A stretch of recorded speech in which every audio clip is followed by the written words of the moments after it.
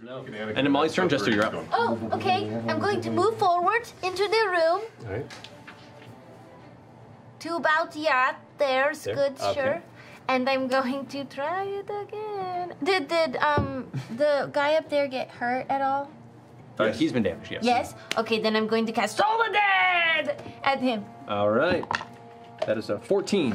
Fucking egg, piece of shit. What's the save? What's the... It's 13 because I'm lame. Sorry. Uh, as as you try and release the energy once more, it can't quite get a beat on the gnoll's head. It's moving around and dodging, and you can't focus on it. I'm gonna it. start unsnapping my sickle to get it out to like hit things. okay, as you're futzing with the side, that's the end of your turn. Uh, all right, Caleb, you're up.